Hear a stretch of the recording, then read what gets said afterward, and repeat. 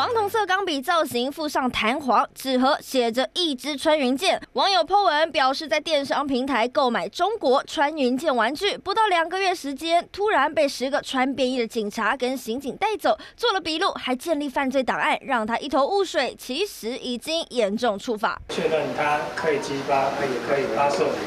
杀伤力目前的标准是。弹丸可以穿透人体皮肉层二十焦耳，每平方公分就会有杀伤力。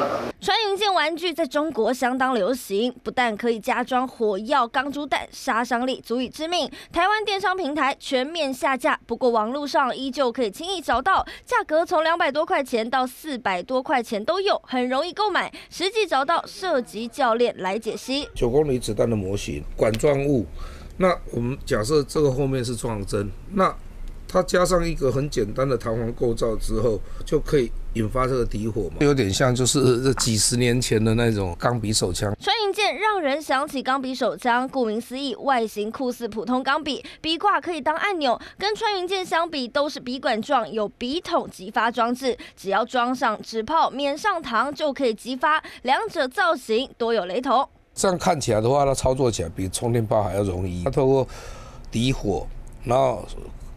用这个撞针去控制它，随时可以发射。中国玩具穿云箭悄悄流入台湾，民众在网络买来当玩具，殊不知是伤人凶器。好奇入手，恐怕得吃上刑责。三立新闻田居打吴慧山高雄报道。